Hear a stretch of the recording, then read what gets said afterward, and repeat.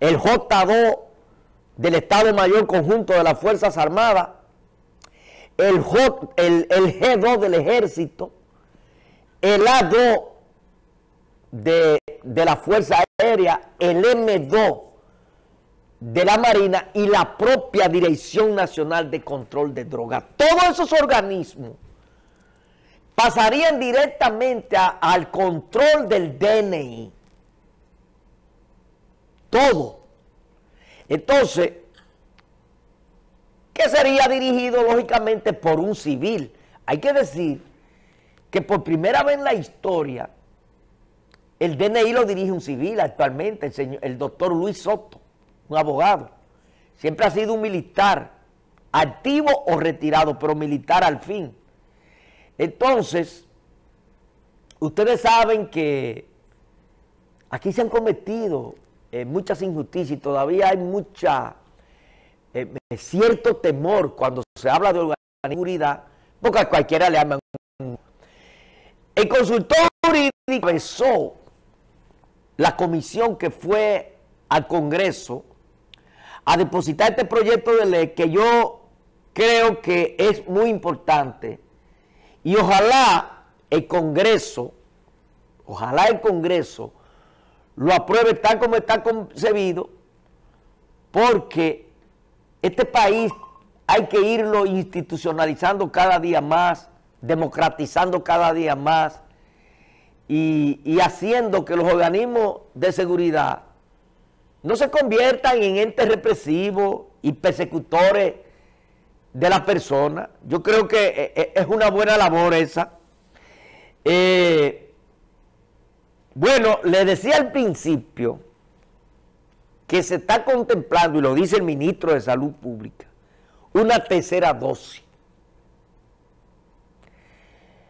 el gobierno contrató solamente de China 5 millones más de vacunas Sinovac y ya eh, en los próximos días llegarán vacunas de la farmacéutica Pfizer y AstraZeneca. De modo que aquí va a haber vacunas. Ya se calcula que el país tiene contratado, o sea, o mejor dicho, no contratado, sino a mano, vamos a decir a mano, alrededor de 11 millones de vacunas. Va a ser uno de los países con mayor índice de vacunados. Eh, hay preocupación porque ciertamente hay muchas violaciones, mucha gente que, que le ha cogido con hacer lo que le venga en gana en este país. Señores, y en esta semana se cumplió el segundo aniversario de la estafa de los MUNE.